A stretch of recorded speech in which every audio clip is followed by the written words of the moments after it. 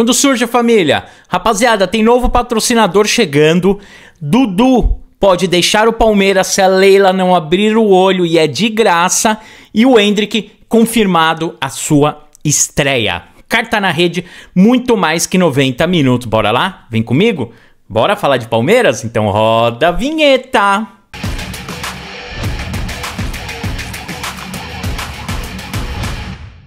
Salve, salve família, como vocês estão, rapaziada? É com muita palestrinidade que a gente vem para mais um vídeo.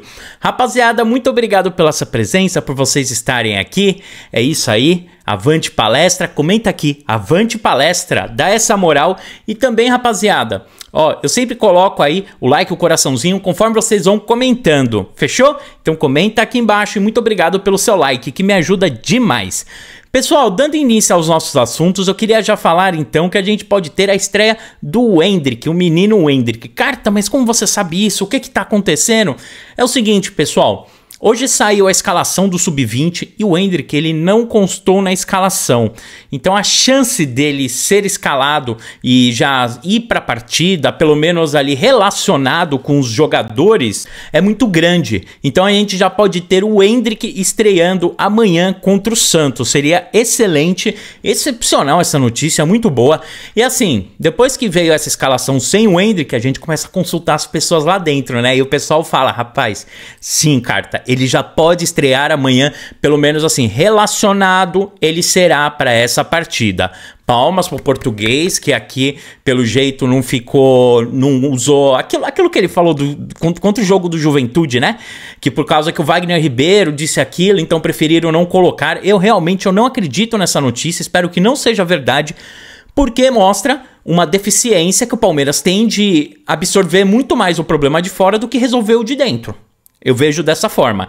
Então, que o Hendrick estreie muito bem amanhã contra o Santos. Jogo importantíssimo aí. 27 rodada do Brasileirão. 27, né, pessoal? Então, rodada do Brasileirão. Deve faltar aí umas 10 rodadas pra gente ser campeão, contando já a gordura que a gente tem em cima dos caras. Então, o Hendrick deve estrear para essa partida.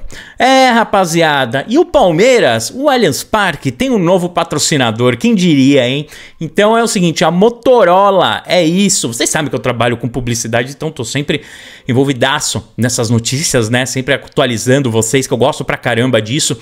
Então a Motorola ela é novo patrocinador no Allianz Parque, onde eles vão colocar display, banners, aqueles banners elétricos, como se fossem uns outdoor dentro, né, do Allianz Parque, ali na algumas áreas mistas, segundo, é terceiro e quarto andar, áreas de localização ali onde os torcedores vão passar para camarotes, passar para o restaurante, e também um camarote que a Motorola fechou para 18 pessoas, aonde vai ter toda a sua área para quem for no camarote, mas assim, designado com todo o layout da Motorola. A Motorola que está fazendo um trabalho para mostrar que a sua marca é marca de primeira linha. Assim como é iPhone, Samsung, sabe? Não é uma marca de telefones somente intermediários. Então eles estão trabalhando para elevar a sua marca. Isso é com tempo, é um trabalho de marca difícil, gente. Pode demorar de 5 a 10 anos para você conseguir colocar a sua marca num, numa outra prateleira, num outro patamar. Mas aí eles fazem como o quê? Exatamente numa ação dessa, onde eles vão em camarotes, que são lugares caros, circulam pessoas que têm grana e colocam a sua marca ali mostrando que tem ótimos aparelhos, funcionalidades, e, cara, desde TV, celular, máquina de lavar, os caras vão por tudo ali. Tudo ali mostrando pro pessoal que eles são de primeira linha. É interessante, é legal, é mais um patrocínio chegando pro Allianz Parque, que querendo ou não, ajuda os caras, ajuda todo mundo, e que será visto aí pela torcida alviverde dentro dos jogos e shows. Show de bola. Pessoal, tem um assunto que a gente precisa falar muito. Mas antes disso, não esquece do seu like, fortalece com o seu like aqui e comenta avante palestra. Amanhã tem um jogo importante, amanhã a gente vem com informação do jogo. É o seguinte, vocês sabiam que a gente pode perder o Dudu de graça? É, a informação que tá pipocando então é que o Dudu ele teria aí já acionado o Palmeiras que quer assinar um contrato, uma renovação.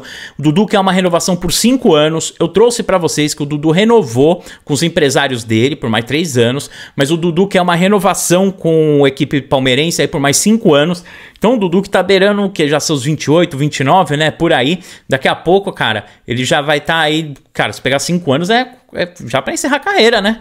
Praticamente, pelo menos assim, em alto nível é.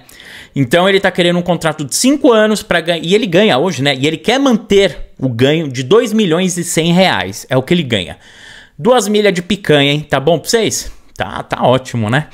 Então, Dudu ele ganha 2 milhões e 100 e ele quer manter essa grana. O Palmeiras está fazendo um contrato com uma oferta que a princípio é o quê?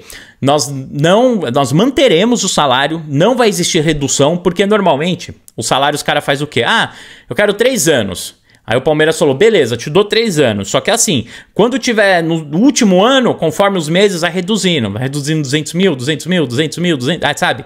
Aí vai reduzindo, aí ele termina o salário com um milhão e meio. Com um negócio assim. Vai. O salário com um milhão. Reduz 30% do salário até o final. É uma parada assim.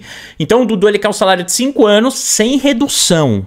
5 anos ganhando por mês 2 milhões e 100. O Palmeiras ofereceu um contrato de 2 anos sem redução e os 24 meses ganhando 2 milhões e 100. Aí agora é uma questão de ajuste, né? É aquilo, rapaziada. Contrato, quando você vai fazer uma renovação com um jogador, principalmente quando é um jogador top igual o Dudu, né? Referência no time, cara, é, Todo mundo gosta dele, o cara é ídolo. Então você tem que negociar muito bem. É como você fosse vender um carro. Você põe o valor lá em cima e vai quebrando ele, né?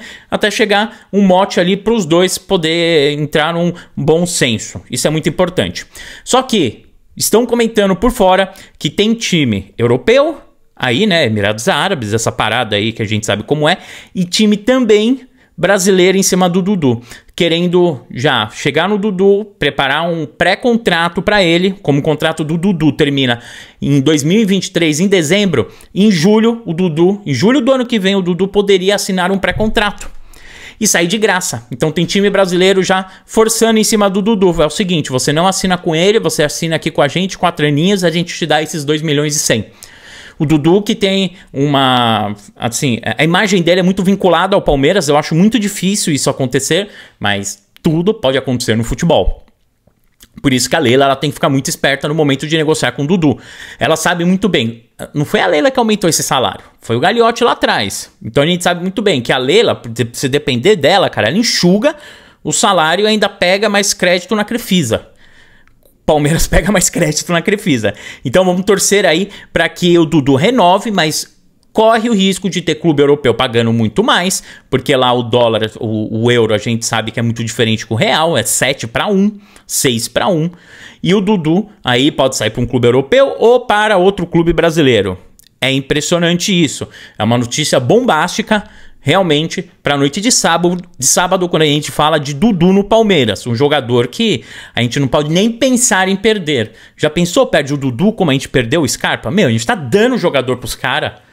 O Scarpa, gente, o Scarpa era para ter saído aí por 20, 25, 30 milhões de reais. O cara ele saiu de graça. Palmeiras não ganhou um centavo com ele. Já pensou perde um Dudu da mesma forma? Cara, é pegar, baixar as portas do Allianz Parque e falar, fecha, mano. Porra, você não sabe negociar. E eu trouxe para vocês que a falha do, da, do negócio do Scarpa foi esperarem a mudança da gestão e a gestão atual tentar negociar com ele somente em março. Depois. Aí o jogador falou: não, eu já tenho um monte de proposta aqui, eu vou olhar os caras e vamos ver o que que dá. Se ninguém quiser, eu pego fico com vocês. Tá ótimo. Aí chegou a proposta do Forest, que ele acabou aceitando. É, zoado, né? Mas foi assim que aconteceu. Beleza, rapaziada? Pessoal, fortalece com o seu like, a sua inscrição, o seu sininho. Tamo junto sempre. Avante palestra. Muito obrigado pela sua audiência, pela sua paciência por fazer parte disso aqui. Falhou!